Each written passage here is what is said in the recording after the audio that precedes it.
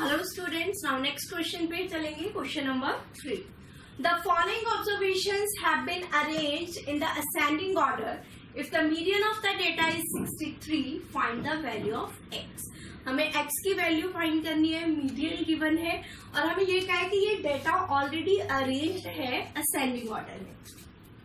So question number three median find करना है पहला स्टेप होता है डेटा को अरेंज करना, जो कि हमारे पास ऑलरेडी गिवन है। नाउ नेक्स्ट स्टेप क्या है? नंबर ऑफ़ टर्म्स चेक करना।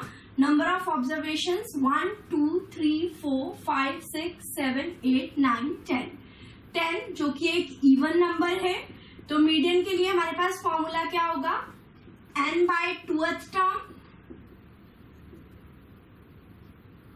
plus n by 2 plus 1th term divided by 2.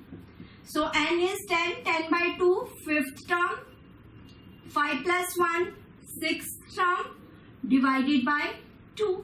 Median हमें गिवन है इस केस में 63, fifth term 1, 2, 3, 4, 5 and sixth term is x plus 2 divided by 2.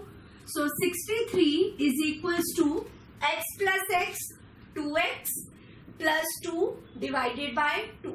Take 2 common x plus 1 divided by 2. 2 से 2 cancel हो गया 63 is equals to x plus 1. ये 1 left hand side move होगा तो minus हो जाएगा. So x is equals to 62.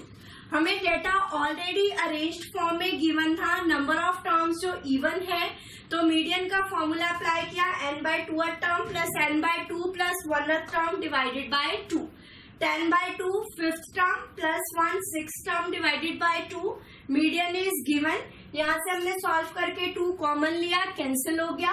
So X is sixty two note करें.